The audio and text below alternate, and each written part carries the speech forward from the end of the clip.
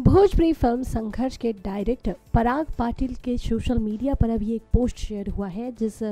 Post पर एक दुखद खबर की जानकारी साझा हुई है। जी हाँ पराग के फेसबुक से एक पोस्ट सामने आया है, जिसमें लिखा है, एक्ट्रेस परी कटियार इस दुनिया में अब नहीं रही जिसकी जानकारी उनके भाई ने साझा की है। वैसे तो जिन एक्ट्रेस के बारे में बात हो रही है, वो किसी फ़ेमस चेहरे का नाम नहीं है, लेकिन इन सब के बावजूद आज एक कलाकार ने इस दुनिया को अलविदा कह दिया है, जो कि आगे बढ़ना चाहती थी, कुछ करना चाहती थी। और इससे कई लोग अभी दुखी हैं, ज़्यादातर लोग उन्हें श्रद्धांजलि दे रहे हैं और कुछ लोगों को तो इस खबर पर यकीन ही नहीं हो पा रहा।